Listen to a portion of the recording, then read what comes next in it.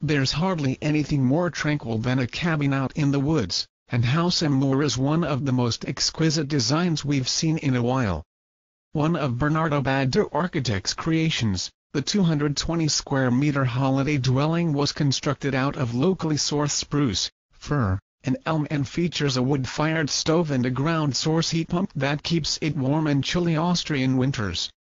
Although the structural frame is made with concrete, the rest of the interior and exterior of the cabin was constructed with 60 trees felled sustainably nearby. This contrasting timber was used for walls, floors, doors and even some of the home's furniture, and a deck runs the entire length of the cabin.